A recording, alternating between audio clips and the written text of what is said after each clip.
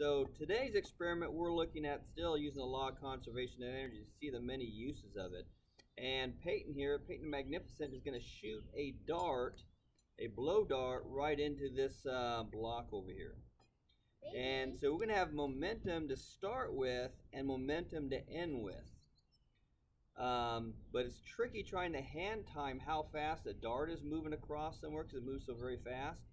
So what we can do is embed that dart into something more massive, which will slow down the same momentum and make it more measurable. Then we'll measure how fast the block is going this way by one. We're going to get the distance of where the center of mass of this block lands. And two, for the timing to find the velocity of the whole system, um, we are going to use the time it takes to free fall from that height, which is 0.73 meters. Okay, Peyton the Magnificent, we are ready for your best shot. Yeah. Okay, big blow here, as big as you, oops, my finger got stuck. Okay, Sausage fingers. all right, we're ready. I do have sausage fingers.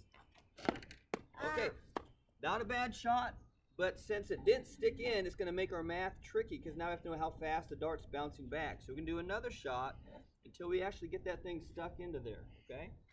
Not bad, not bad. You can do it, Peyton. Big blow, big blow, but don't miss. Okay, not bad. 17 more shots. We have time, guys. Don't worry about it. Okay, you got this. Big blow. Big blow. Our dart is falling apart there. There we go. Woo! Right here on the 13, which is 33 centimeters. Okay.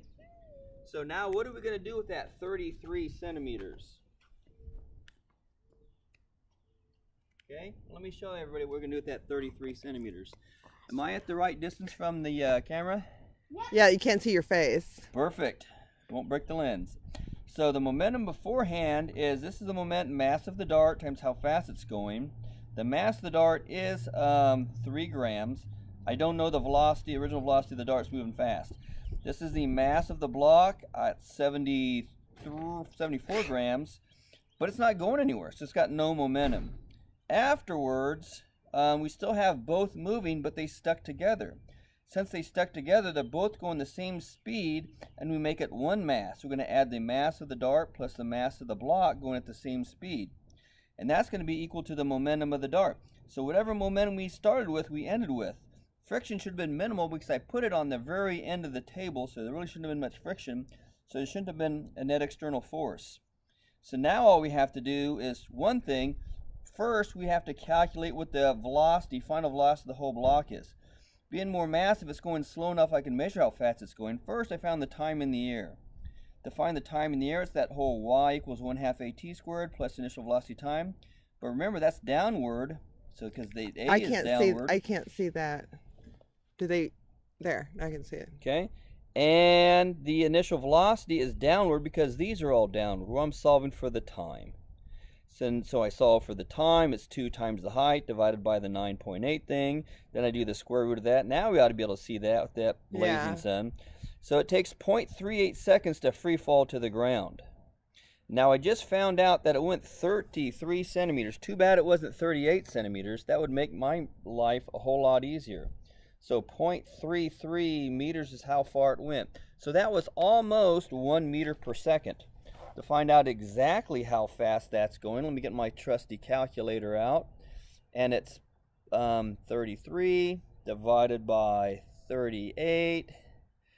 It is in fact,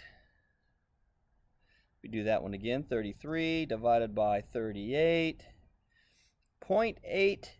Um, so 0.87 meters per second is how fast the whole block was moving together. Um, 0.87 meters per second. So that means the velocity of the whole thing is 0.87 meters per second.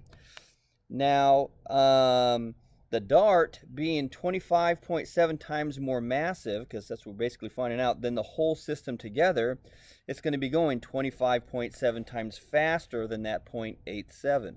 So the final velocity of that dart is, hold on to your shorts, times 25.7, drum rolling, drum rolling, 22 meters per second. Woo!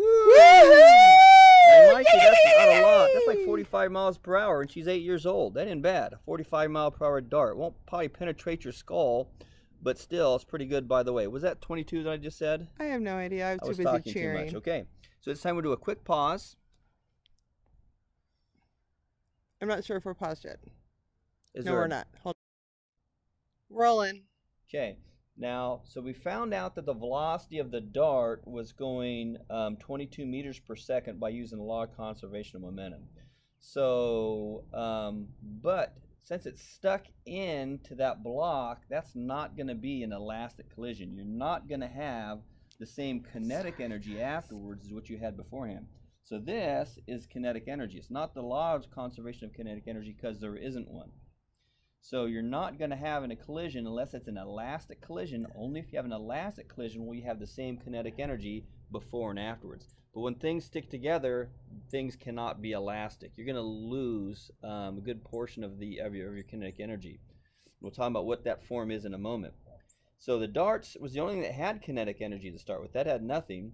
So the 22 squared times the mass times a half, it's only 0.75 joules. Not a lot of energy at 22 meters per second, about 45 miles per hour. But after it hit the block, the block plus that, way less kinetic energy because it's not moving very fast. And not very fast squared is really not a very big number. So to give you an idea of the efficiency of keeping the kinetic energy, the efficiency of keeping the kinetic energy, the ending energy over the beginning energy, 0.029 divided by 0.75 joules, is only 0.04, which is 4%. That means we lost 96% of our energy in this experiment today. We only kept 4% of the energy in this inelastic collision. So where is that uh, 96% of the missing energy? Well, when that dart goes squeezing into the block, that inelastic collision, there's a lot of friction. And that does a lot of negative work to slow down that nail or the dart squeezing into the block and creates a lot of heat energy. So 96% of the energy that the dart had has gone into thermal energy, warming up both the dart and the block. So we only kept 4% of the energy, but we had 100% of the momentum afterwards. So momentum is great to use to find velocities of things. The kinetic energy is not so good at finding velocities because you have a lot of energy and collisions lost to that thermal stuff. But scientists use both the law of conservation of momentum and the law of conservation of energy to talk about what happens in collisions, especially subatomic collisions. Because in subatomic collisions, they are elastic, so both of these work to find out um, what you have before and what you have afterwards in a collision. End. Done.